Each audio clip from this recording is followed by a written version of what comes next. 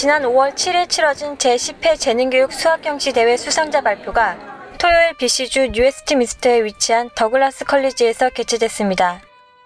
3학년부터 9학년을 대상으로 치러진 이번 경시대회는 각 학년별로 1, 2, 3등에게 트로피와 상품이 전달됐고 최고 득점자인 대상 수상자에는 트로피와 All TV에서 후원한 500달러의 장학금이 수여됐습니다.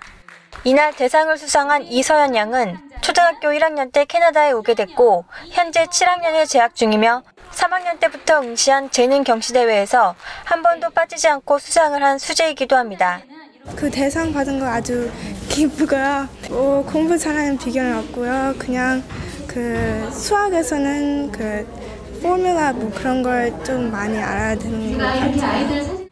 서연 양의 부모님은 어렸을 때부터 꾸준히 기초를 다진 것이 아이에게 많은 도움이 된 것 같다고 소감을 전했습니다. 수상자 발표 중간에는 지루하지 않도록 학생들의 악기 연주와 노래 등 장기 자랑도 이어졌습니다. 얼티비 뉴스 홍재수입니다.